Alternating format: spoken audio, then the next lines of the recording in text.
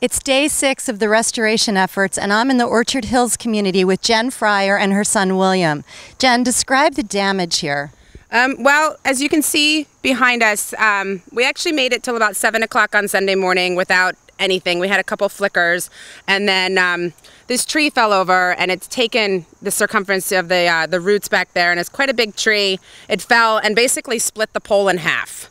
And um, power went out. There's down lines in the in the yard, and um, we lost a pine tree that was in front of it, and then the big oak tree that was my neighbor's. So we got a couple piles of trees here.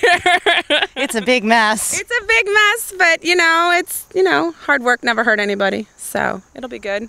So um, I know you have two other children. Yes. William has a brother and a sister, and it must be it's extremely difficult having three children, three small children, with such a busy week. Tell us about our, your week and how you're coping. we started school this week. School didn't start until Wednesday. Uh, my daughter started second grade on Wednesday. My son had an hour visitation with his kindergarten teacher, and he started full time today.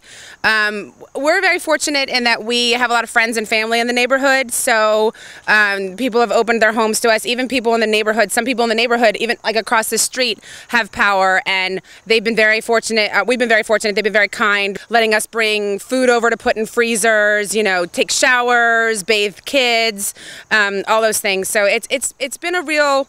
It's kind of been a community spirit builder, if you could say that. But people always come together in times of craziness, and it's it's been crazy. But you know, day six, we're still smiling, we're good.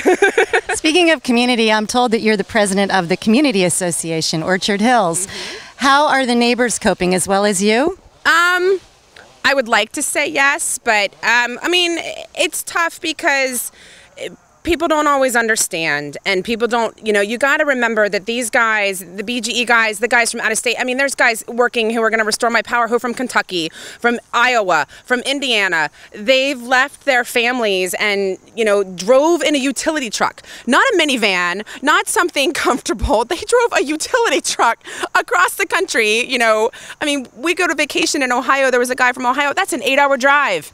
It's not fun in a minivan. I can't imagine what that's like in a utility truck so, um, you know, some people, I think you kind of tend to focus on yourself and, oh, I don't have power, oh, poor me, poor me. But it's not really about that, you know. Um, it's about remembering that, you know, they didn't have to come and help. It could be, I mean, if it was just the guys that were local, I mean, we wouldn't even be talking right now because it, there's just not enough manpower. So it, there's been a lot of sacrifices on a lot of people's parts, and that's what's really important to remember.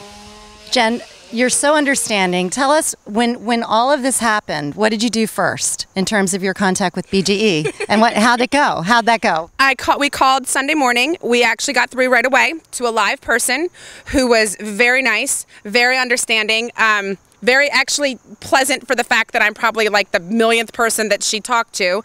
Um, she basically said, you know, thank you for reporting it. We'll um, we'll have somebody out. We saw a truck that morning um, around we went to breakfast uh, at IHOP because with everybody else who didn't have power because you know that's where you go. And um, I think we got back around 11:30, and there was a truck in the neighborhood that, that was coming through to assess to see, you know, okay, how do we categorize people? Who has down lines? Who has trees? Who's just out? Who had, you know?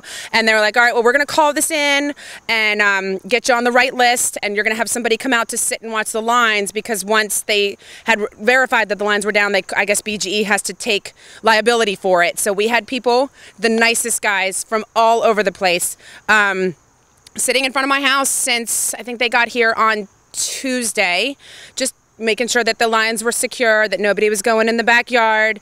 Um, just really pleasant guys.